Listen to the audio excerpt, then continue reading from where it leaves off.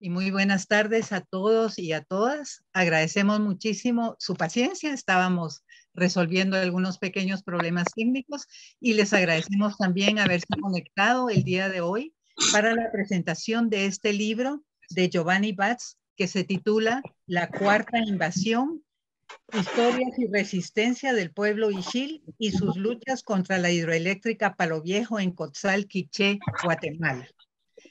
Para eh, Avanzo es un especial gusto eh, publicar este libro, haber tenido la oportunidad de publicar este libro en su serie Autores Invitados. Y solo voy a mencionar tres razones para ello, no son las únicas, pero son algunas de las que quiero yo subrayar. Una de ellas es que Giovanni escribe este libro siguiendo también la petición que le hace el pueblo Ixil de Cotzal para que les ayude y escriba su historia. Entonces es un trabajo que Giovanni Batz realiza eh, muy cercano al pueblo Ishil y siguiendo una de sus ambiciones, de sus esperanzas, que es tener su historia desde su punto de vista, desde la mirada de este pueblo. Esa es una importante razón para nosotros para apreciar y valorar el trabajo de Giovanni. Un segundo asunto muy relacionado con el anterior es que Giovanni se sitúa en una posición crítica a la antropología extractivista de la que él habla, esa antropología que llega a la comunidad, llega al pueblo a extraer información que sirve para muy diversas cosas, entre ellas para que el académico pueda eh, seguir su camino académico, pero esa información que se extrae no vuelve nunca a la comunidad, no vuelve nunca al pueblo. Eh, algo muy distinto a lo que hace Giovanni, que a cada paso de su trabajo va informando y discutiendo la siguiente etapa con eh, las autoridades ancestrales y con el pueblo Ixil eh, de Cotzal. Entonces, esa es otra, otra razón importantísima eh, que nosotros tenemos para publicar este trabajo.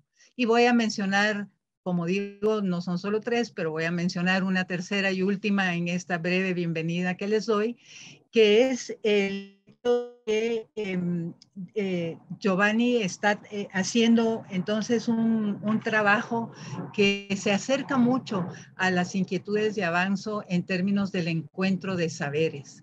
Como el antropólogo con su formación en esta ciencia moderna de la antropología, llega al pueblo, a la comunidad y comparte este conocimiento al mismo tiempo que va adentrándose en el otro conocimiento, el conocimiento, el episteme del pueblo Ixil.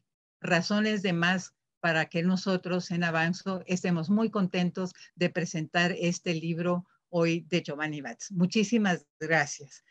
Voy a, pasar a presentarles, eh, si fuera esta una eh, reunión presencial, pues sería la mesa principal, pero dado que es una virtual, pues entonces eh, no podemos exactamente hablar de mesa, pero sí estamos aquí las personas que van a presentar y hacer sus comentarios. Los voy a presentar en el orden en que van a dirigirse a ustedes en el orden en que van a compartir sus comentarios, em, no más de 15 minutos cada persona. Eh, escucharemos en primer lugar a Baltasar de la Cruz Rodríguez. Baltasar es actualmente segundo alcalde indígena año 11E del municipio de San Juan Cotzalquiché 2023-2024. Es miembro de la alcaldía indígena desde el año 2012 y ha estado involucrado en las luchas del pueblo Ixil desde su juventud. Entonces, bienvenido, Baltasar. En, segundo, eh, en segunda instancia, escucharemos los comentarios de Elizabeth Moreno. Elizabeth Moreno es antropóloga, investigadora de Avanzo, con amplia experiencia en el acompañamiento a los pueblos Quechí, Achí y Pocomchí en sus luchas frente a las industrias y proyectos extractivos eh, co-construyendo con comunidades y movimientos conocimientos situados. Muy bienvenida, Elizabeth. En tercera instancia vamos a escuchar a Moisés Rosales Barrientos. Moisés Rosales es abogado y notario por la Universidad de San Carlos de Guatemala, es licenciado en Ciencias Jurídicas por la Universidad de Quebec en Montreal, Canadá, y es licenciado en Derecho en Madrid, España. Además, tiene una maestría, un máster en práctica jurídica por el Centro de Estudios e Investigaciones Jurídicas en Madrid, España. Eh, Moisés ha colaborado con y asesorado a los pueblos mayas de Guatemala en temas relacionados con su sistema jurídico y arreglo de conflictos. También en la inscripción de comunidades indígenas y sus autoridades en la defensa de los derechos de los pueblos, comunidades y autoridades ancestrales mayas y chiles ante la Corte Suprema de Justicia y la Corte de Constitucionalidad. Y los apoya también en el fortalecimiento de la autoridad de las autoridades ancestrales y acompañando a los pueblos y chiles en los procesos de consulta ordenados por la Corte de Constitucionalidad. Muchísimas gracias por estar hoy con nosotros, el licenciado Rosales. Y bueno, escucharemos al final a nuestro autor, a Giovanni Batz. Giovanni es maya quiché. Es profesor asistente en el Departamento de Estudios Chicanos de la Universidad de California en Santa Bárbara. Recibió su doctorado en antropología social en 2017 y su maestría en estudios latinoamericanos en 2010, ambos en la Universidad de Texas en Austin. Sus investigaciones y publicaciones académicas abordan temas como industrias extractivas, derechos indígenas y humanos, tierra, movimientos sociales e historia en Guatemala, desplazamiento y migración maya y centroamericana, política exterior de Estados Unidos en Guatemala y políticas de inmigración de Estados Unidos. Así que esta es eh, nuestra mesa, digamos, y eh, sin más, yo le voy a dar entonces la palabra a Baltasar de la Cruz Rodríguez para que nos comparta el comentario al libro La Cuarta Invasión. Bienvenido, Baltasar, adelante. Muchas gracias. Una buena tarde para cada uno de ustedes que me están viendo en esta oportunidad.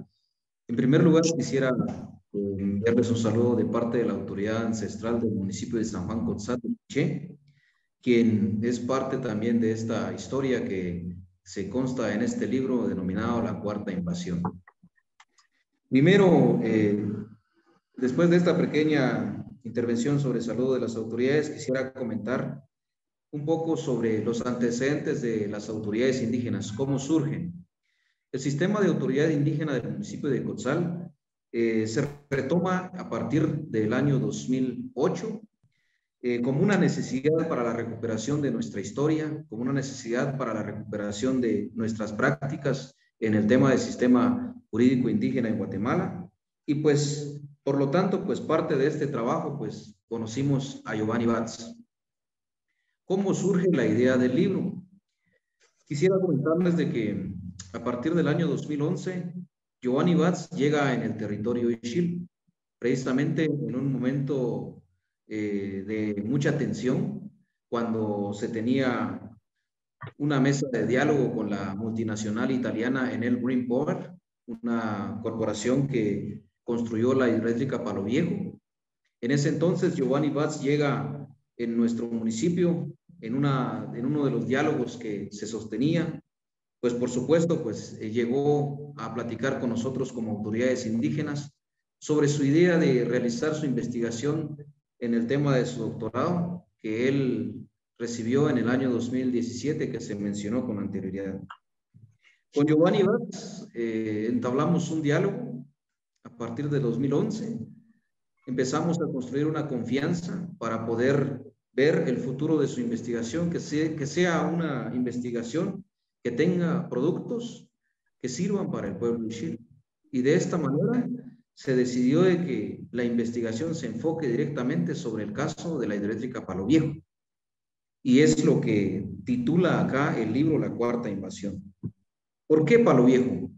Porque nosotros al momento que estábamos en el, en, el, en el, diálogo con esta empresa italiana, estábamos abordando la conflictividad que se tenía eh, con esta empresa en relación de la instalación de la eléctrica Palo Viejo en la finca San Francisco, que es la cuarta invasión que menciona este libro al final y que lo comentaré en su momento.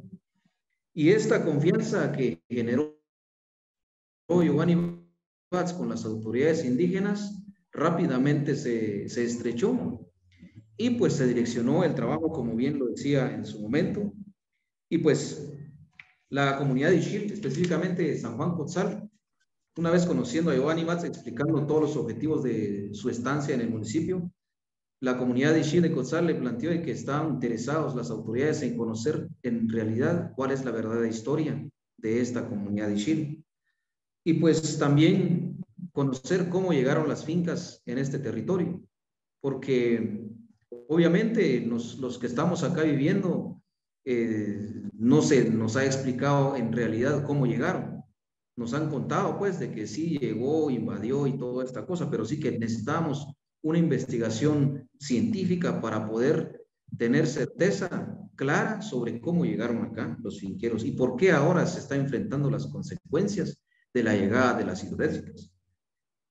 Entonces, en este entonces eh, se solicitó al, al doctor Giovanni Vaz realizar un trabajo de investigación científica, como le decía, que demuestre con documentos eh, de investigación sobre la verdadera historia del municipio de San Juan Gonzalo. Y de esta forma, entonces, hablamos de la primera invasión. En el momento de que aborda el libro La primera invasión, habla sobre la llegada de los españoles en el territorio de Chile. Principalmente en el año, a partir de, las primeras tres décadas de, de 1500, cuando juntamente con la Iglesia Católica, ¿verdad? Impulsó la cristianización acá a nivel local, así como también en otros pueblos mayas a nivel nacional y a nivel Latinoamérica, criminalizando las prácticas ancestrales y también destruyendo nuestras propias formas de autoridad ancestral en ese entonces. Y es entonces que BATS eh, se encamina para poder eh, realizar esta investigación, cómo llegaron los españoles acá en el territorio Ixil, en San Juan Gonzalo. También eh, abordamos, en este libro se aborda el tema, cómo fue que sufrió el pueblo Ixil. Y es cuando se aborda el primer genocidio, podríamos abordar de que la llegada de los españoles es el primer genocidio acá en el, en el territorio Ixil del pueblo Ixil de Cotzal. ¿Por qué? Porque se cometieron masacres desde el momento que llegaron contra los guías espirituales, contra los que practicaban la espiritualidad maya en ese entonces. También la destrucción del tejido social se refleja en este libro. Asimismo, el, rompimiento del tejido social, como lo decía, pero también el sistema de autoridad indígena se destruyó en ese entonces cuando estaban constituidos ancestralmente. Y los estudios arqueológicos lo demuestran en la actualidad que la historia del pueblo Ishil, pues, es, una, es evidente que existen eh, los lugares sagrados donde estaban nuestros abuelos asentados. A pesar de la cristianización, en este libro se, se aborda cómo la Iglesia Católica recopiló los tributos, ¿verdad?, para poder subsistir acá, buscando los beneficios para, para la corona española. Entonces, la primera invasión, como lo, bien lo decía en, su momento, el pueblo Ishil resistió ante esto. Es la primera resistencia que podríamos decir ante una primera invasión en lo que se refleja en, esta, en este libro. También, ¿por qué quisiera, por qué queríamos descubrir nuestra historia? Porque no es lo mismo que nos han contado en las escuelas. Y es, en este libro se, se demuestra de que no es como se habla en la escuela, no es como se enseñaron a los niños o no es como se enseña a los niños o no es como nos enseñaron a nosotros cuando estuvimos en la primaria de que fuimos conquistados, de que eh, esto pasó y esto pasó como, como hasta con dibujos se enseña en la escuela. Acá en este libro se demuestra con documentos de que no fue así la historia, sino que fue, como lo mencioné en su momento, se demuestra que fue el primer genocidio contra el pueblo chileno.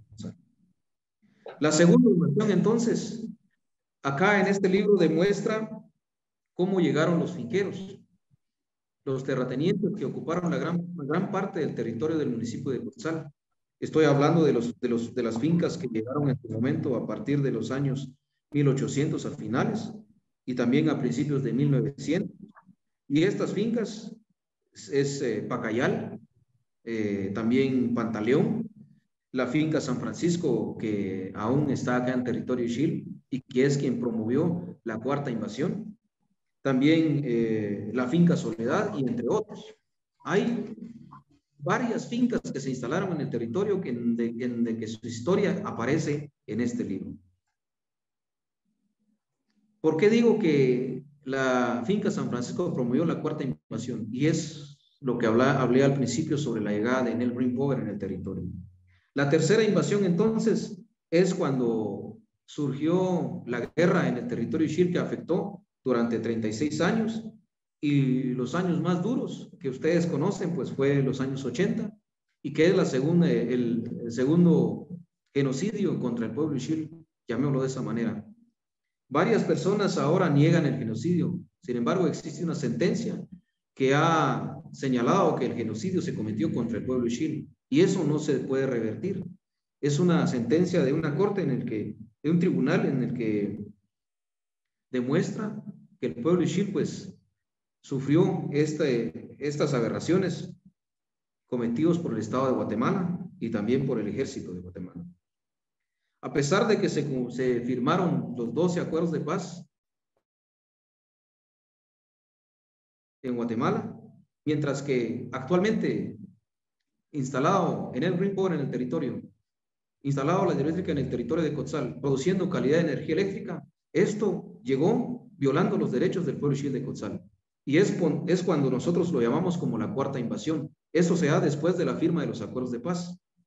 La codicia eh, de los bienes naturales con que cuenta el municipio de San Juan Cotzal es el resultado de la instalación de esta hidroeléctrica en contubernio, en contubernio con, con el Estado y también con las autoridades gubernamentales en ese entonces. Entonces considera que la llegada de Nel Green Power en el territorio de Cotzal es la cuarta invasión. Y acá en este libro la, que se está publicando y se está presentando, se exponen detalles cómo fue que en él llegó en el territorio a partir del año 2005. Cómo fue que las autoridades, tanto municipales como gubernamentales, negociaron detrás del pueblo Ishil de Cotzal y aprobaron la entrada de esta hidroeléctrica en el territorio, ¿verdad? La hidroeléctrica Pablo Viejo, entonces, construido por, la italiana Green Power, cada segundo que está pasando en la actualidad produciendo energía, se considera que es una violación constante a los derechos del pueblo Ishil de Cotzal porque no se realizó ninguna consulta. A pesar de que se tuvo un diálogo, un diálogo forzado por la empresa en él en el 2011, bajo amenazas de muerte, bajo amenazas de órdenes de captura, y persecución contra los líderes y contra las autoridades indígenas en ese entonces, sigue violando los derechos del pueblo Ishil de Quetzal. Entonces, eh, no solo es Palo Viejo que está acá, se puede mencionar otras empresas como Trexa, Transnova y entre otros que están instalados en el territorio sin el mínimo consentimiento del pueblo Ishil de, de San Juan Quetzal. Y en este libro, entonces, la lucha del pueblo Ishil ante la empresa en él se detallan ¿Cómo fue que llegó?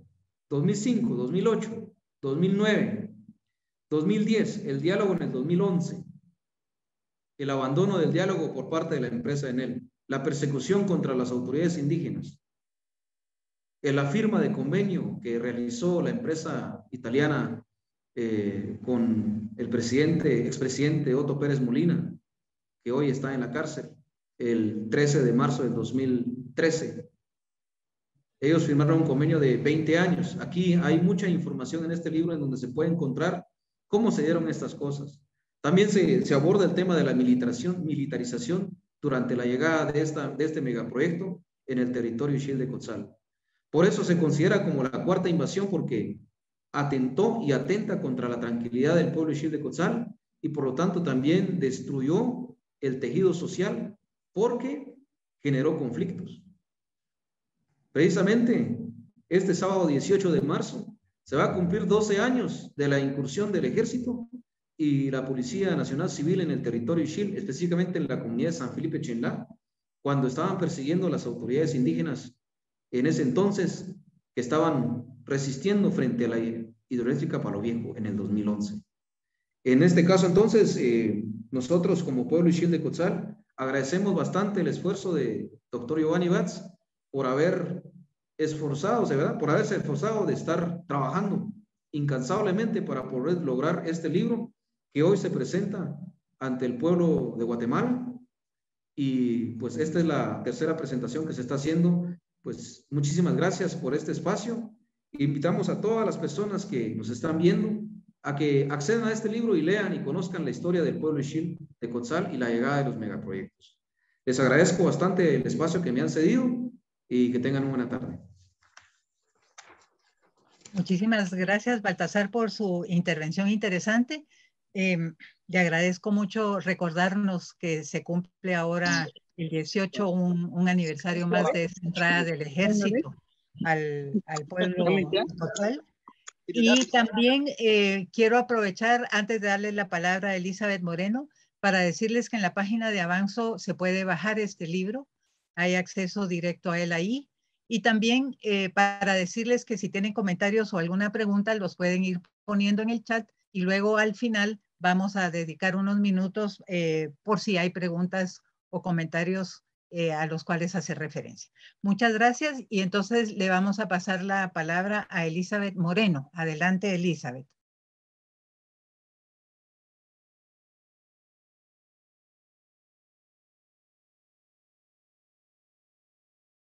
Al sonido. Ah, ok, gracias, gracias Giovanni. Bueno, empiezo de nuevo. Eh, buenas tardes a todas y a todos quienes nos acompañan el día de hoy, en especial a don Baltasar, a don Moisés, a ti Giovanni y, a Clara. Eh, yo quiero compartir el día de hoy, luego de leer con mucho interés y pasión el, el libro La Cuarta Invasión, algunas eh, reflexiones y algunos puntos o ideas que el libro me hicieron pensar y nos hicieron pensar en Avanzo, como bien planteó Clara al inicio de, de esta actividad, que se encuentran en el camino de la investigación, del quehacer, del acompañar, del ser parte de las luchas y resistencias de los pueblos indígenas, en especial del trabajo del equipo PICTA en, lo, en Tezulutlán, Verapaz, con los pueblos Cachi, Pocomchi y Achi.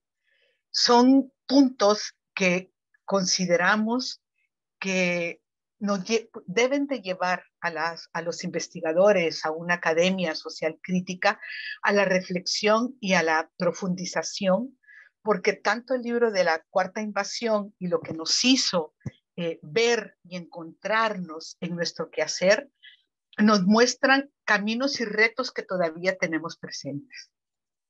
Entonces, el primer punto de ello es el método. Y Giovanni plantea desde el inicio, en la introducción, la necesidad de una ciencia social crítica, de una antropología que descolonice los marcos teóricos, conceptuales y metodológicos eh, desde una visión dominante de la ciencia o una ciencia que se considera como única pareciera muy fácil lo que está planteando eh, Giovanni, pero ¿qué implica el descolonizar? ¿Qué implica descolonizarnos como ciencia social y crítica? Desde nuestra visión y diálogo con los pueblos en Tezulutlán, Verapaz, es repensar el RUB, el B y el ACB, es decir, los enteros caminos y rutas en los cuales nos encontramos las y los investigadores, la academia o una academia que quiere ser otra, en la construcción de conocimiento situado y como bien decía Baltasar, don Baltasar, en la reconstrucción de la historia desde la visión, cosmovisión y vivencia de los pueblos. Esto no es fácil, es un proceso permanente de generar conocimiento situado, pero sobre todo de co-construcción de conocimiento. Giovanni nos cuenta, y don Baltasar también nos situó, cómo él llega, se instala y le pide hacer. No, no ir, como es una ciencia atractiva de conocimiento, con ideas preconcebidas, llegar, entrevistar, hacer, volver el informe y ahí se quedó. No es lo mismo ir generando ese conocimiento desde la visión, cosmovisión, experiencias y necesidades de los pueblos para ir reconstruyendo su historia.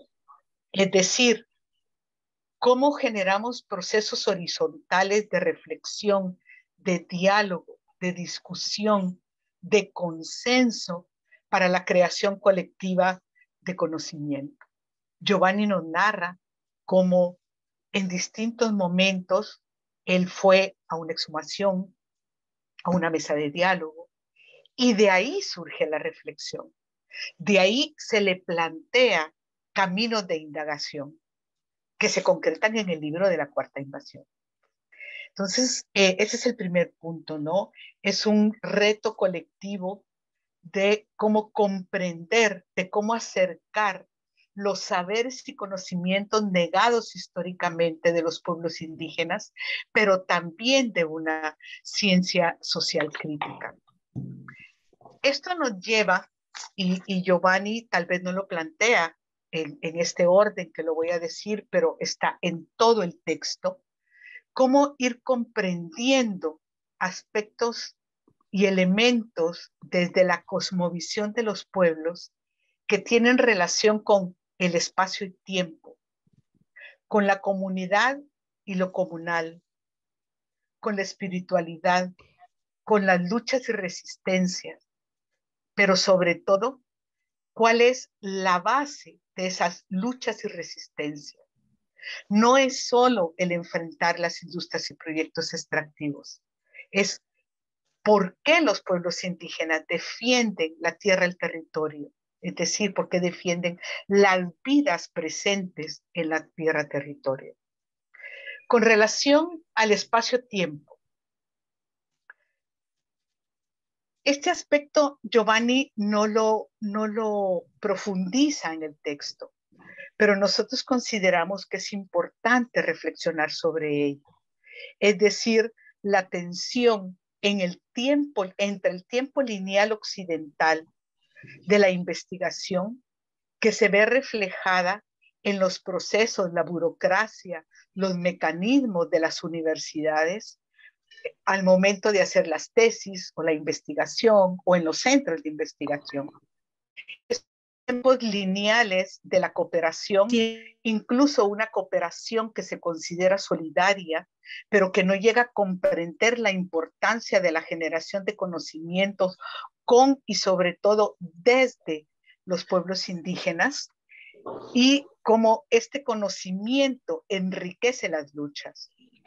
Y también eh, cómo en, esta, en este tiempo lineal y en esa tensión que tenemos los centros de investigación o las investigadoras e investigadores, podríamos o tenemos el riesgo de generar mecanismos o formas que reproduzcan una lógica extractivista de conocimiento, de extraer conocimiento.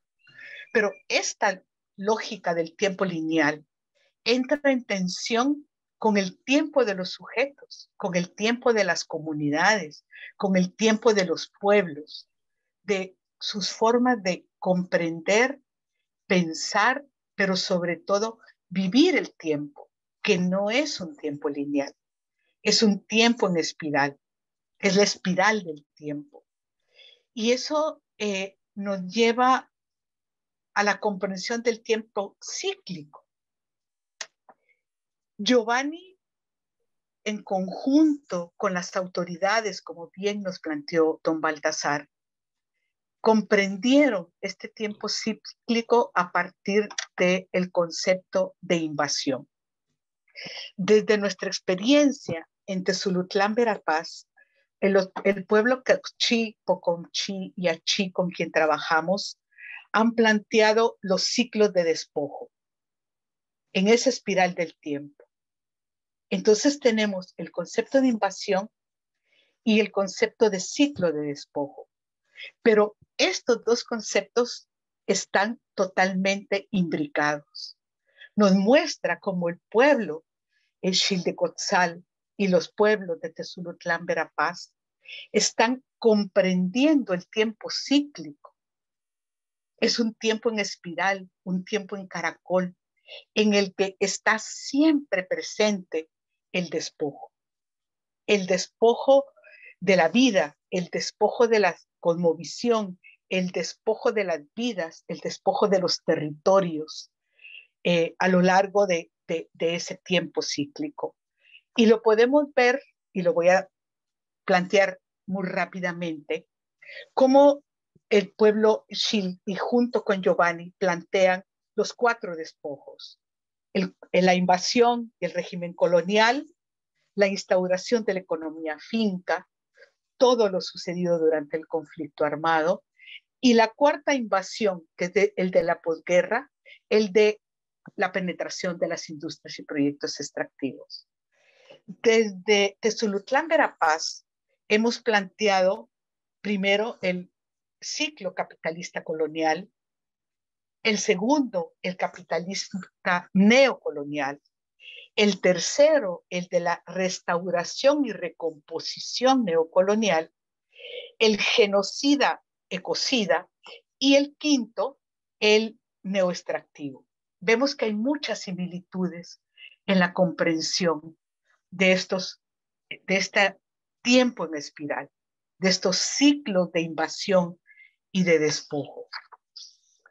Para centrarme más en la cuarta invasión, es decir, en el ciclo de despojo capitalista neoextractivo, del cual eh, el libro de la cuarta invasión tiene su segunda parte, ¿no? Eh, a partir de la hidroeléctrica de Palo Viejo, es importante ver cómo luego de la posguerra, entre comillas y subrayado, de la firma de los acuerdos de paz. Luego podríamos hablar de la intencionalidad de la firma de la paz y todo lo que generó, que Giovanni también hace mención a ello, de cómo durante el gobierno del PAN hay una eh, modificación de la institucionalidad, privatización de las empresas estatales, pero sobre todo la generación de normativa para el impulso del proyecto neoextractivo, se la espiral de los despojos. Se profundiza esa espiral de la invasión y de, de los despojos en un entramado de alianzas entre empresas, finqueros, Estado y poderes locales, lícitos e ilícitos, que bien nos narra eh, Giovanni a partir de la reconstrucción con el pueblo de Cotzal, todo lo que eso implicó para la hidroeléctrica de Palo Viejo. Como lo dice el pueblo Cochí, el pasado está enfrente. El, el, hoy es el futuro. ¿Y qué nos muestra esta cuarta invasión? ¿Qué nos muestra este ciclo de despojo capitalista neoextractivo? Nos está mostrando, como nos narra eh, Giovanni, disculpen que se me cayó el, el celular, como nos narra Giovanni, las estrategias del Estado y de las empresas, cómo llegan en el momento de exploración o de búsqueda de los permisos a ofrecer proyectos sociales. Las condiciones históricas de pobreza, de extrema pobreza, en que viven los pueblos indígenas a partir de esta configuración de este Estado guatemalteco, lleva a que a partir de estos proyectos haya división en las comunidades. ¿Quién quiere trabajar en la hidro? ¿Quién quiere trabajar en la mina? ¿O quién quiere el proyecto social y quién no? Pero también nos muestra cómo, y bien nos decía don Baltasar, Elizabeth, se piensa. Elizabeth, Elizabeth, se oye cortado, se oye cortado, tal vez puedes apagar tu cámara. Ok, muy bien. Entonces, em, nos muestra cómo desde los pueblos indígenas, desde esos ciclos de resistencia también, hay formas otras de reconstitución, de reconfigurarse, desde las autoridades indígenas, desde las autoridades ancestrales, las formas organizativas para enfrentar esa invasión, ese despojo que las industrias y proyectos extractivos están teniendo en los territorios. Pero ¿qué están enfrentando los pueblos indígenas en esta cuarta invasión? Es decir, ese pasado que está enfrente el día de hoy están enfrentando un continuum de las formas contrainsurgentes y coloniales, un control del territorio y de la población con presencia militar, con presencia de la policía o paramilitar de las empresas. El engaño, como bien nos narraba Giovanni, de los, de los proyectos sociales o de las mesas de diálogo que no terminan en nada, o el interés de normar la consulta, pero no se consulta a los pueblos. Y si se consulta, estas consultas no son vinculantes. Pero, y sobre todo, la criminalización y la judicialización de los liderazgos, hombres y mujeres, que están enfrentando a las industrias y proyectos extractivos. Es una constante. Esto va en ascenso en los distintos territorios. Como nosotros planteamos en Avanzo junto con los pueblos Quechipo, Comchi y en esta cuarta invasión, en este ciclo de despojo capitalista no extractivo, los pueblos indígenas están enfrentando una guerra extractivista no declarada. Cuando los pueblos dicen que el pasado está enfrente, también se recuerdan esas formas de la contrainsurgencia. En los desalojos, por ejemplo, se queman las casas, se quema la ropa, se queman las siembras, hay abusos sexuales, hay desplazamiento forzoso. Y ante estas resistencias, como ya dije, los pueblos indígenas se organizan y han hecho uso de las distintas formas y caminos que el Estado les pone enfrente. Van a las mesas de diálogo, interponen amparos en la Corte de Constitucionalidad, van al sistema de Naciones Unidas, están haciendo uso de las distintas formas que me imagino que don Moisés nos irá contando un poco de, su experiencia de esto. Pero hay algo muy importante que plantea también Giovanni en el libro y que nos plantean los pueblos en Tezulutlán, Verapaz.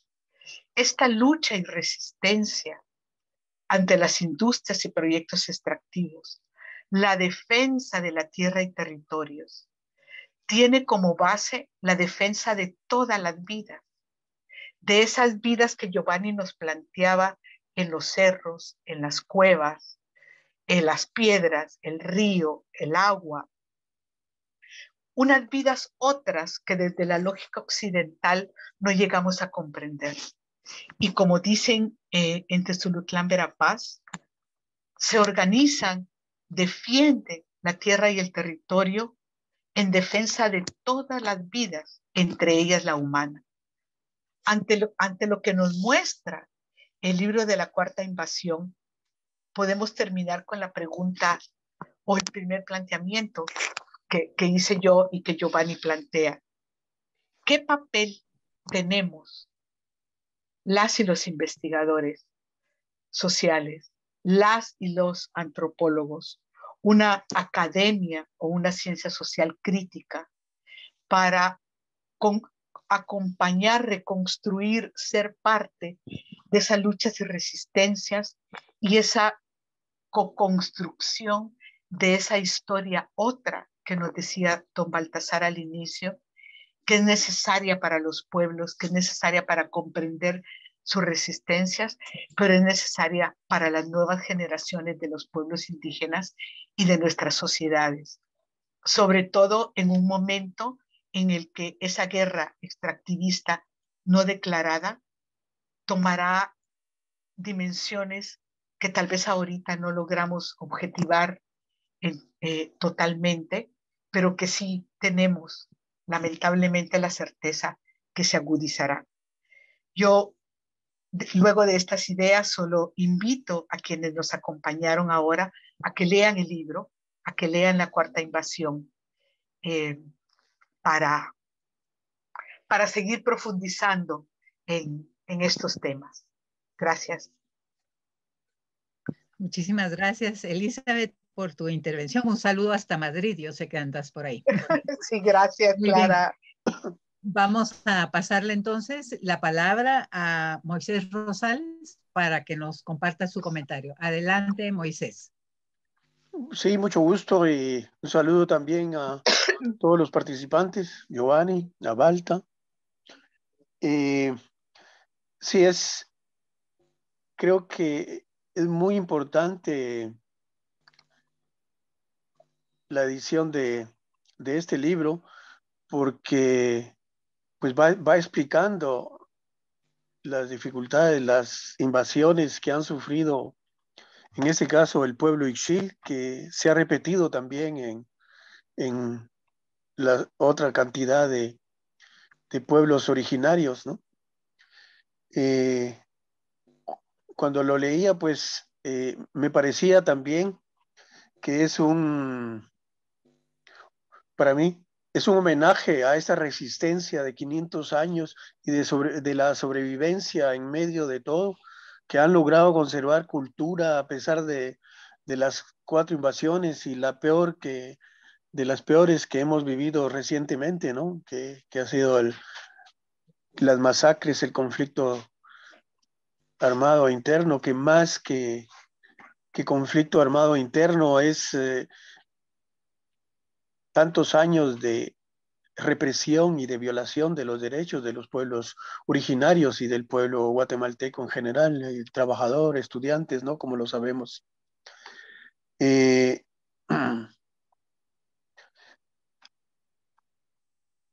veo pues eh, una explicación de, de, tantos años, sobre todo esta lucha contra la ENEL principalmente, ¿no? Y otras en Nevaje y Chajul, eh, pues lo, he visto cotidianamente. Llevo en, esta, este segundo periodo, llevo 27 años eh, apoyando al pueblo Ixil y, y, en esta lucha contra la ENEL, pues llevo 12, 12, 13 años más o menos apoyándolos. Eh, también es importante aquí subrayar lo que mencionaba o lo que criticaba o critica Giovanni respecto a los antropólogos, ¿no? Colonizadores, eh, racistas, paternalistas. Y eso, eso debe, debemos de verlo también las otras profesiones, porque también nosotros hemos tenido que hacer cambio en, en esa mentalidad de los abogados, ¿no? Que generalmente que trataban asuntos de los pueblos originarios, ¿no? Eh, también los abogados eh, hemos tenido ese, esa forma paternalista, colonialista de, de tratar a, a, los pueblos originarios, a sus autoridades, ¿no? que son tan, tan, tan importantes en, en esta vida cultural de, de los pueblos. Y al principio de esta lucha, pues estuvimos también con, con la abogada Marley Vázquez eh, y actualmente está el licenciado Santos Zapón y Juan Carlos Peláez, ¿no? Que hemos estado llevando estas luchas principalmente en el pueblo Ixili y es bastante complejo. Nosotros hemos tenido que oír, aprender, hemos aprendido mucho, mucho, ¿no? Eh, como abogados, puedo, puedo decir con toda certeza que a, pesar de, lo que conozco de otros países desarrollados, y aquí tenemos, en, nuestro país tenemos una gran sabiduría de este pueblo que no queremos aprender por racismo, por, por discriminación, y que nos puede enseñar mucho, mucho. En, en Canadá, por ejemplo, está la justicia participativa, ¿no? que se inspira bastante en, en, la forma de arreglo de conflictos de, de los pueblos uh, originarios canadienses. Entonces creo que también este, esta crítica que hace Giovanni al leerlo, pues nos hace reflexionar que debemos de cambiar. Nosotros lo hemos intentado, ya no somos eh, aquellos que le vamos a decir a las autoridades ancestrales, espérate, yo voy a hablar, eh, no hables, ¿no? Al contrario, nosotros insistimos en que somos auxiliares de ellos, somos, somos sus asesores jurídicos, lo que, y que estamos pendientes de la parte jurídica de, los conflictos, ¿no? Eh, lo que lleve dentro del, del sistema occidental, del sistema ladino, ¿no? Pero lo más importante para nosotros es que se oiga directamente al pueblo, a las autoridades ancestrales, que es parte de lo que menciona Giovanni, ¿no? En, esto de, del tipo de antropólogos, ¿no? Que, que también Giovanni pues propone un cambio muy profundo. Eh, también me recuerda eh, en una de mis intervenciones en la Corte de Constitucionalidad, que le decía, la Corte me daba 15 minutos para poder explicar eh, todos los agravios y, el significado de la tierra, de los recursos naturales, eh, de los problemas que han ocasionado estas invasiones. Y le decía que lamentablemente no podía yo resumir esos 500 años en, en esos 15 minutos, ¿no? Y aquí lo que me parece importante es que Giovanni rescata, aunque él mismo no está mencionando, es muy importante eso para los investigadores, está mencionando que hay muchos aspectos todavía a investigar eh, en la actualidad, eh, la historia de, de, esas fincas que fueron constituidas en, en, estos, eh, en el pueblo de Cotzal, por ejemplo, o en, en Nevaja, en Chajul. pero sí, de alguna manera recoge parte de esos 500 años de resistencia, de, de lucha, de, de insistir en, en sus derechos, ¿no? Y a nosotros, pues como abogados, nos corresponde apoyar esa lucha, estar a la par de ellos, pero no tomar decisiones por ellos, no hablar directamente por ellos, salvo lo que a nosotros nos corresponde. Y en eso, pues provocamos bastantes cambios de paradigmas, ¿no? Cuando íbamos ya a la Corte de Constitucionalidad o a la Corte Suprema, el primero que tomaba la palabra era la autoridad ancestral y aunque eso nos restaba la mitad del tiempo, no nos importaba porque era directamente. Y también lo hicieron en su propio idioma, ¿no? En Ixil, que era, era una parte de, de impactar a los magistrados, ¿no? De ambas cortes, para que se dieran cuenta que no es lo mismo rendir justicia en un idioma desconocido, como ha sucedido con, con los pueblos originarios, ¿no? Donde la justicia que se les ha aplicado es una justicia en idioma distinta, en cultura distinta, ¿no? Entonces, esos, esos impactos que nosotros queríamos causar en ellos lo, lo logramos de, alguna manera.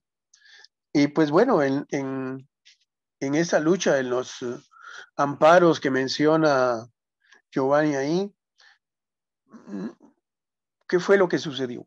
Cuando empezamos el diálogo con la ENEL, descubrimos que los alcaldes municipales, a pesar de, de, ser miembros de los pueblos indígenas, la política los había cambiado y también tenían esa mentalidad colonialista y paternalista.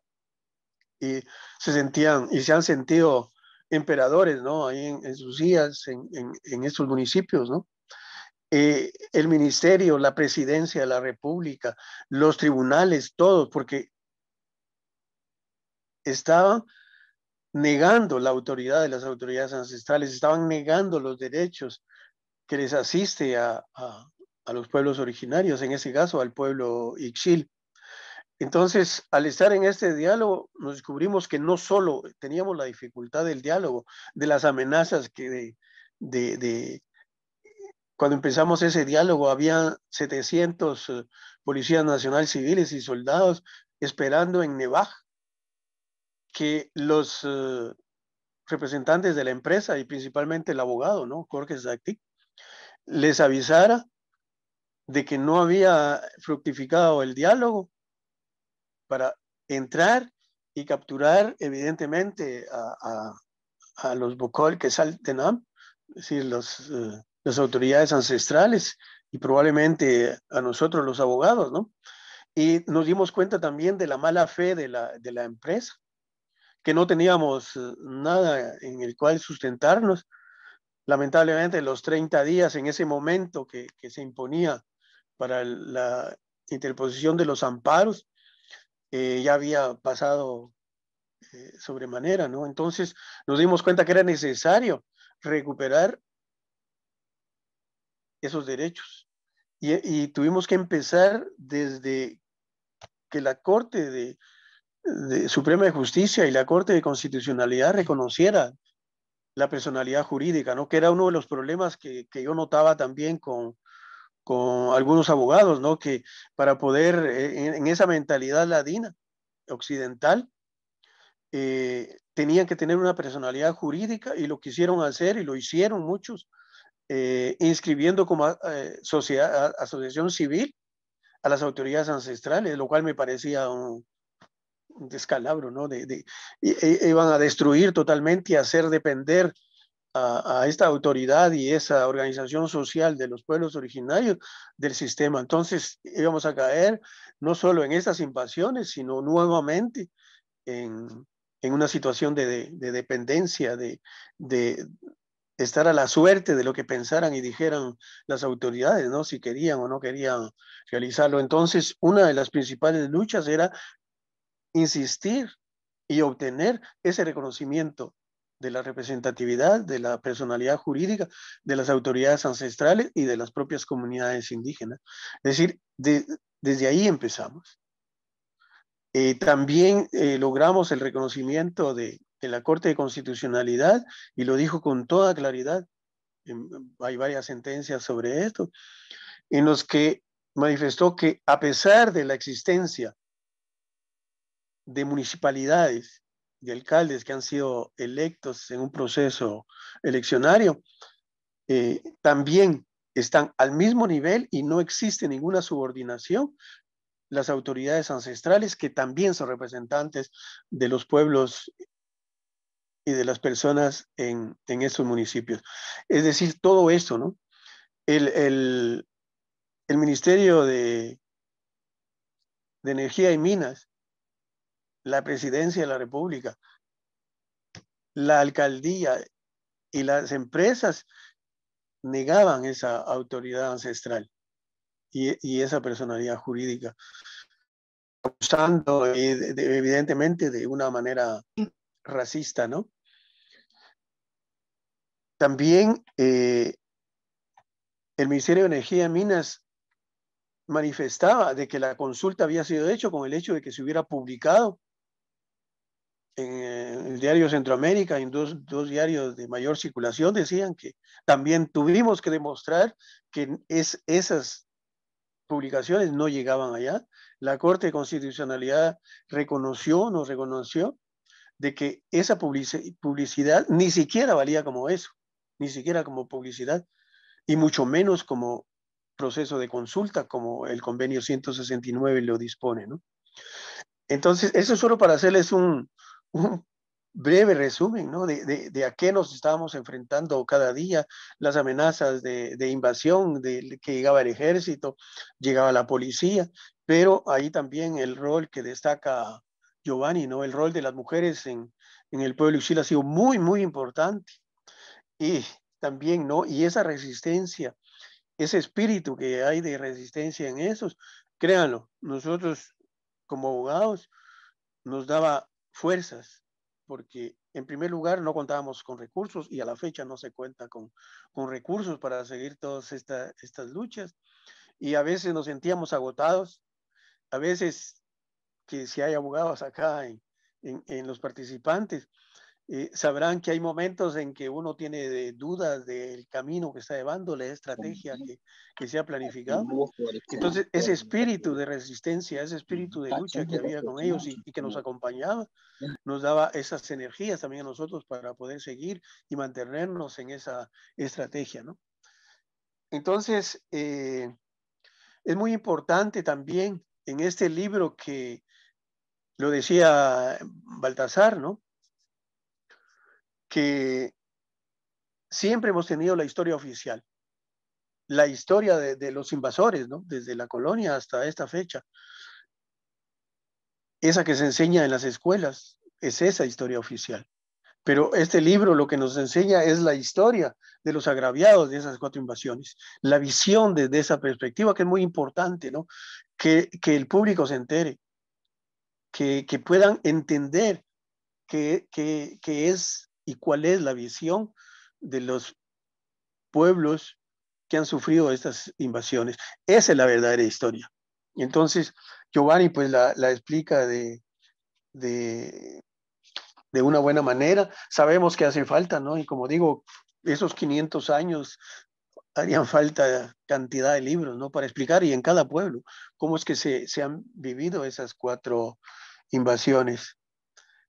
Y hay otra cuestión muy importante, ¿no? que, nos hemos dado cuenta y lo, lo vimos cotidianamente en el Ministerio Público, en las Cortes, en la Presidencia, en el Congreso, que hablan de esa soberanía y se sienten, entre comillas, muy orgullosos de, de defender la soberanía del país. Pero, ¿dónde está esa soberanía cuando están entregando los recursos a las empresas extranjeras? Cuando están entregando esa riqueza de los pueblos originarios que no están respetando a los pueblos originarios. ¿Dónde está esa soberanía? También nos hablan de, desarrollo y que los pueblos originarios se oponen al desarrollo. Ya Giovanni explica ahí en su libro cuál es la concepción del desarrollo, que evidentemente no es la misma del capitalismo, ¿no? No es la misma de, aquellos que solamente ven las ganancias y el desarrollo se ve de, de, otra manera, e incluso que Giovanni habla de que en su libro de que esa palabra no existe en los pueblos originarios, ¿no? Porque aquí no se vive de esa manera, no se vive pensando en la ganancia, ¿no?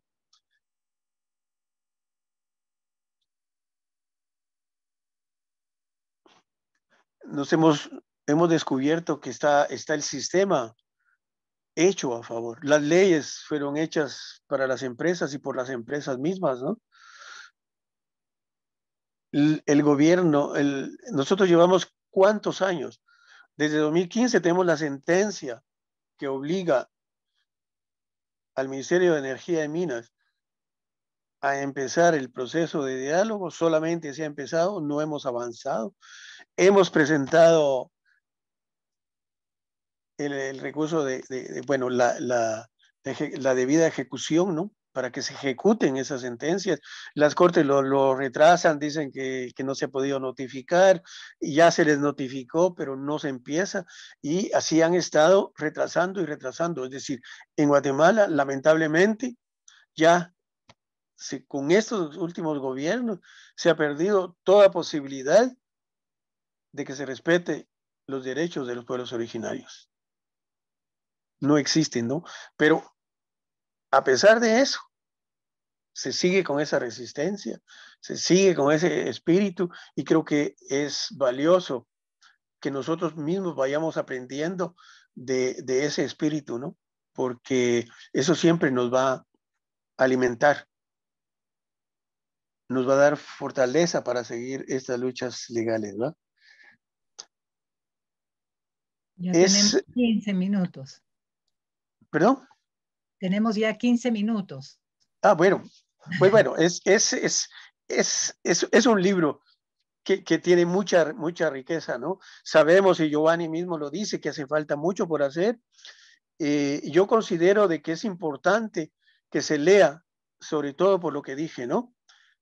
Tener la visión de los agraviados de las cuatro invasiones, no la versión oficial, no la historia oficial. Muchas gracias y perdón por el tiempo. Ningún problema. Muchísimas gracias, el señor Moisés Rosales, sobre todo por darnos esa mirada desde el abogado, desde el abogado que se abre a otras formas de pensar. No siempre, como él mismo lo ha dicho, lo vemos en los profesionales del derecho. Muchísimas gracias. Y bueno, hemos escuchado a tres comentaristas de este trabajo de Giovanni y llegó el momento de escuchar al autor. Así que, eh, Giovanni, el micrófono es todo tuyo. Adelante. Sí, bueno, primeramente, buenas tardes a cada uno de ustedes, eh, compañeras y compañeros. Em, primeramente, quiero dar unas palabras de agradecimientos a los comentaristas hoy en día. Eh, obviamente, primero a la Alcaldía Indígena de Cotzal, a través de Baltasar Tishbiom, ha compartido unas palabras. Quería mencionar también que las autoridades de Cotzal escribieron el prólogo del libro, entonces ellos em, también lograron leer el libro antes de, que se publicaba, entonces también quería agradecerlos a ellos. Agradecer también las autoridades ancestrales de eh, Cotzal, Neva, también eh, quienes aparecen en este libro, los ancestros y los abuelos y abuelas de Cotzal, quienes historias están aquí en este libro. También agradecer a Elizabeth Moreno por sus palabras y análisis. Eh, sinceramente me gustó este concepto de guerra extractivista no declarada, o sea, es, un tema, o sea, estaban pensando en cosas así, pero creo que con ese concepto em, eh, creo que, que, captura perfectamente muchas de las cosas que he pensado, entonces eh, muchas gracias por su, sus comentarios y obviamente un agradecimiento especial al, al, al abogado licenciado Moisés por su análisis y, y comentarios. también para mí personalmente, o sea, Em, eh, sin los abogados eh, como Moisés, así como mencionó eh, la licenciada Marley, Zapón y Juan Carlos Peláez, o sea, ellos sinceramente me inspiran, o sea, como, como profesionales, cómo uno puede usar su conocimiento, su profesión para el buen común y, apoyar a las luchas comunitarias en Guatemala y en otros lugares. Entonces, un, un agradecimiento especial a ellos. Eh, normalmente tengo muchas cosas que decir, pero ahorita me quedé un poco sin palabras escuchando a todos. O sea, creo que es algo, es un día para mí importante, especial. Eh, para el público que nos está escuchando hoy en día a través del Zoom o el Facebook, quiero mencionar que esta es la quinta presentación oficial del libro. Entonces quería mencionar cómo es, cuáles fueron los primeros cuatro. Eh, como académico, antes de mencionar em, las motivaciones del libro, eh, quería presentarme un poco sobre mi persona, ¿verdad? Porque si pueden escuchar, mi, mi español no es perfecto, tengo un acento. ¿Por qué? Eh, bueno, yo formo una generación que nació eh, en la diáspora, se dice. otros dicen que nacimos en el exilio. O sea, por muchas razones, las personas tenían que emigrar en los ochentas, si no por la violencia, pero a través de las violencias estructurales, por la pobreza, falta de empleo, oportunidades en Guatemala. Eh, miles de personas huyeron de Guatemala y fueron a México, fueron a Canadá y muchos se fueron a, a, los Estados Unidos, así como mis papás que llegaron a Los Ángeles en los ochentas. Entonces yo formo una generación que fue nacida fuera de nuestros territorios ancestrales y aunque nacimos fuera de, de Guatemala o Chimuleo, eh, muchos todavía recordamos, ¿verdad? Muchos todavía recordamos eh, nuestros territorios ancestrales yo soy Maya Quiche, pero nacido en Los Ángeles, ¿verdad? Entonces, por mucho tiempo en mi vida, mucha gente dijo, me decía, es que vos no sos guatemalteco de verdad, vos no sos maya de verdad porque naciste en Gringolandia, ¿verdad? Naciste en los Estados Unidos. Pero no es así, ¿verdad? Porque entendemos que la historia, la resistencia maya es sin fronteras, ¿verdad? Eh, el hecho que estamos respirando, el hecho que estamos recordando, es una forma de resistencia y es una forma de dignificar nuestro pasado, ¿verdad? Em, entonces, es una lección que yo aprendí a través de mi abuelita, que eh, era una mujer maya quiché de Shela, que falleció hace un par de años a la edad de 98. Entonces, son las historias de nuestros abuelos que, em, que, nacen también o, se reconstruyen afuera de nuestros territorios ancestrales. Entonces, yo entro a la academia con esa perspectiva, que no estamos representados en la academia o en otros medios de comunicación, entre otros lugares. Entonces, yo comienzo a hacer mi investigación, eh, mi primer tema de investigación del doctorado fue jóvenes mayas en Los Ángeles. ¿Cómo es que, cómo es que, cómo es que nosotros eh, nos identificamos? Entonces, ese fue mi tema original. Y en 2011, como se mencionó, como mencionó el compañero Tish, eh, llego a Cotzal y eso cambió mi, mi vida completamente. O sea, ahí es donde conozco mi, bueno, Ahí es donde comienzo a hacer esta investigación eh, que ya lleva 12 años y es a través de esas primeras conversaciones que yo tuve con ellos en que podía mm, formar dos preguntas y bueno, ya se habló un poco, pero lo voy a repetir. Eh, dos preguntas que me preguntaron hacer era eh, la historia de, de, la región Ishil, o sea, a través del concepto de las cuatro invasiones y el caso de Palo Viejo. Entonces, si ven el libro hoy en día, o sea, hay una introducción y dos partes. La primera parte es la historia y la segunda parte es la cuarta invasión. Entonces, eh, yo en serio quería tomar en consideración eh, cómo es hacer este tipo de, de, investigación a través de la consulta, porque la academia es una industria extractivista también del conocimiento, ¿verdad? Entonces yo analizando y criticando empresas que no hacen consulta, ¿cómo es que yo como un académico no podía consultar con, las autoridades también, ¿verdad? Entonces era como cuestionarme a mí mismo. Eh, los compañeros y chiles allá siempre decían también el concepto sobre los antropólogos. Eh, cuando llega un antropólogo, ellos dicen, eh, solo sacan la información y se van, ¿verdad? Entonces no quería caer en ese error. Entonces, eh, que yo tomé la decisión de consultar a las, autoridades en cada, etapa de la investigación. Eh, también soy, estoy inspirado por académicos y veo que el, Ricardo Falla está en esta llamada, por ejemplo. Entonces estoy inspirado por Ricardo Falla, eh, Mirna Mac, que fue fundadora de Avanzo, obviamente la razón que quería publicar con, con Avanzo, eh, Irma Alicia Velázquez Nimatuj, entre otros. A la misma vez, en la introducción del libro, normalmente un académico tiene que hacer una, un literature review, se dice en inglés, ¿verdad? Una revisada de la literatura académica. Pero cuando estaba haciendo la revisión de la literatura académica, también me fijé que también los Seychelles han producido libros. Ellos también han producido sus publicaciones comunitarias y es algo que no se escribe. Entonces creo que también eh, existe algo que se llama la política de las citaciones y las referencias.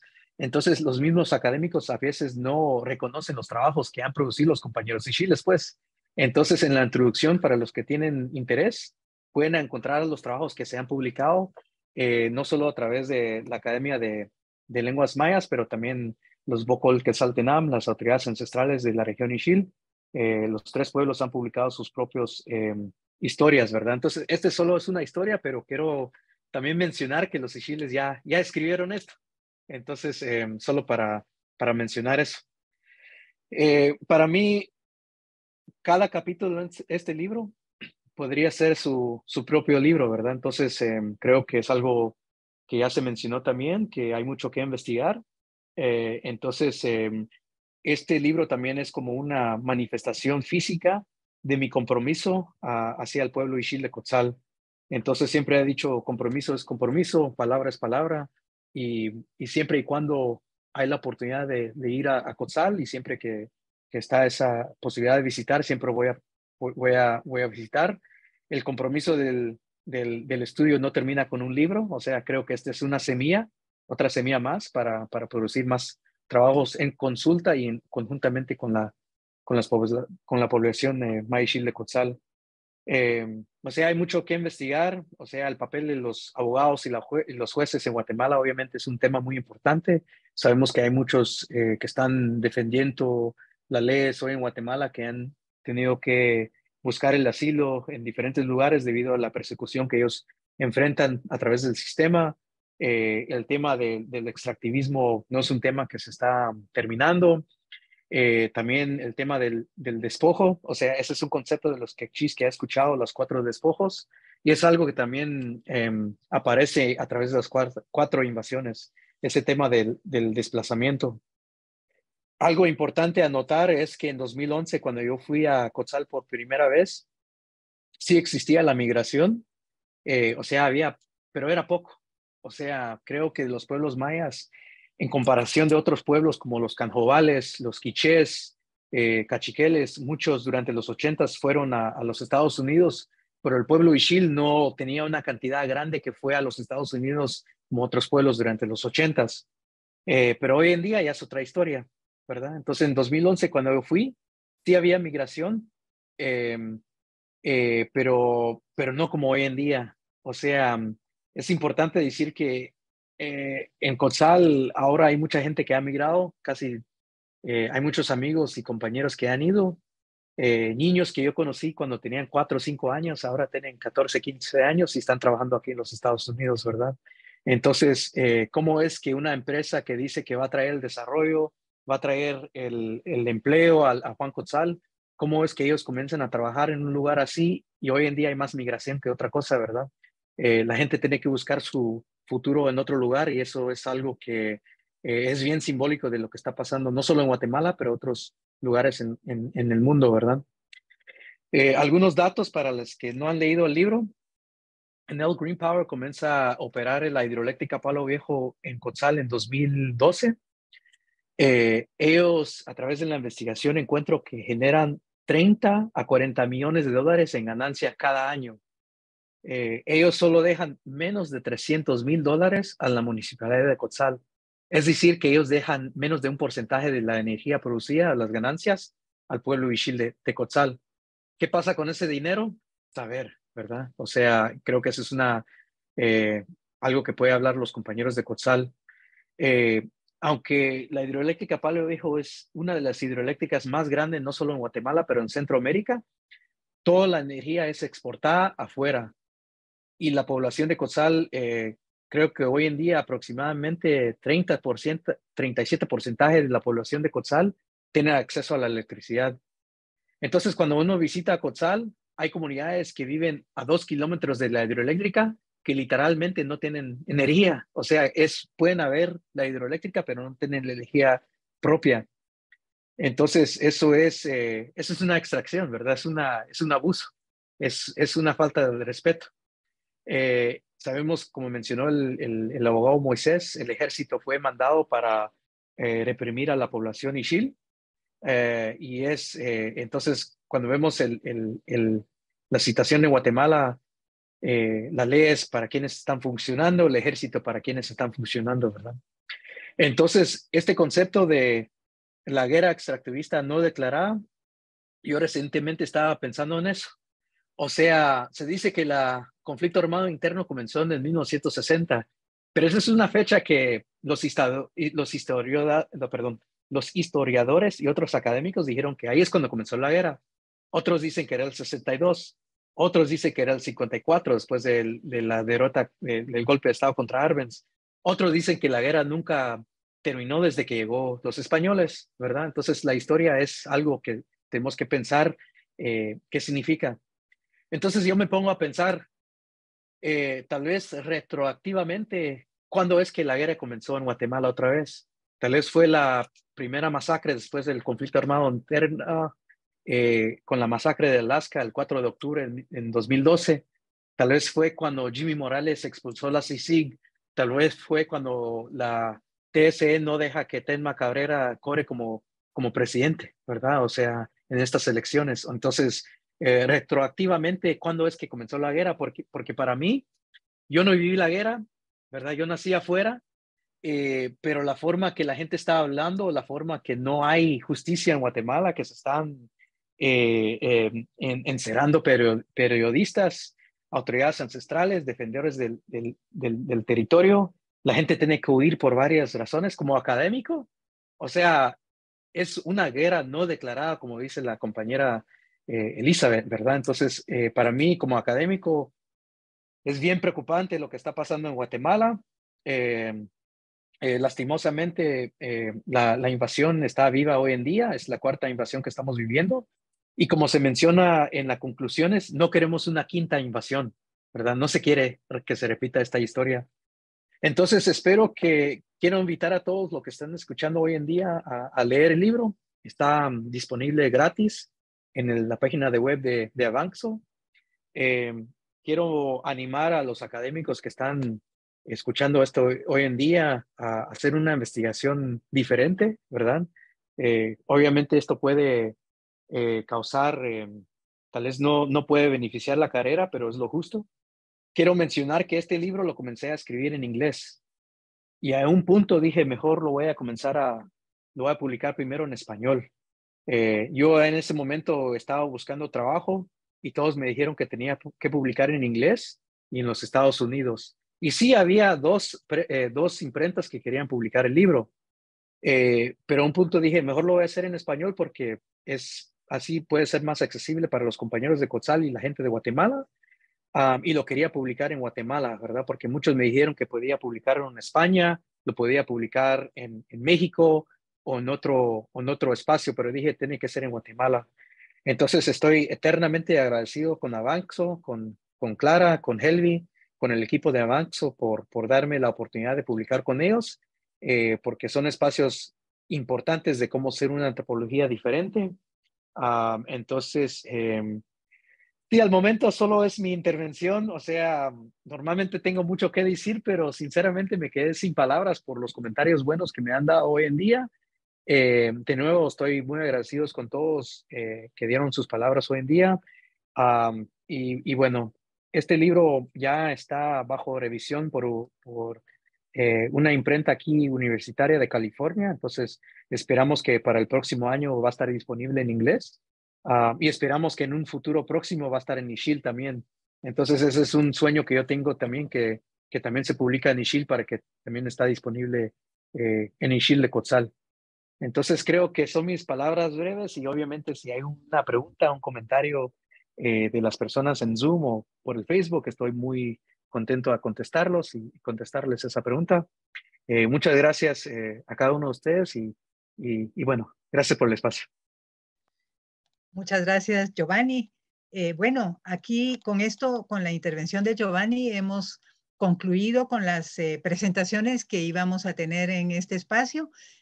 Comenzamos con Baltasar de la Cruz Rodríguez, con una interesantísima exposición que hizo énfasis en la historia propia, ¿verdad? Escuchamos a Elizabeth Moreno encontrando las similitudes y coincidencias con lo que ella mira en su trabajo con, en, eh, de Verapaz. Escuchamos a Moisés Rosales, el abogado que nos ha abierto la puerta también a cómo los eh, paradigmas del derecho también son, son sujetos, ¿verdad? De, de eh, romperse y buscar otras formas de, ser un profesional del derecho. Y hemos escuchado a Giovanni con su reflexión, que él dice que se quedó sin palabras, pero sus palabras fueron bastantes y muy interesantes. Así que muchísimas gracias, Giovanni. Yo creo que eh, ya concluimos la hora y media que teníamos prevista. Pero si hubiera algún comentario o alguna pregunta, estoy viendo aquí en, eh, eh, en el Zoom no miro que haya en este momento preguntas. Yo no tengo acceso al Facebook. No sé si en Facebook hay alguna pregunta. En todo caso, esta presentación eh, ha sido grabada y va a estar disponible en la página de Avanzo. No hay comentarios, Clara, en Facebook. Ah, bueno, muchísimas gracias. Bueno, entonces yo eh, espero que esta presentación de hoy estos conceptos y esas reflexiones que nos han presentado eh, Baltasar, Elizabeth y Giovanni hayan sido interesantes, útiles, inspiradoras, que para mí sí lo han sido, eh, para aquellas personas que se han unido a nuestra actividad del día de hoy y a quienes les agradecemos muchísimo haberse conectado y haber estado eh, presentes en esta eh, valga la redundancia, presentación del libro La Cuarta Invasión, que no es la primera vez que se presenta, pero sí es la primera vez que lo presentamos desde Avanzo con mucho gusto, cariño y orgullo. Muchísimas gracias y que tengan todos muy buena tarde. Saludos a todos.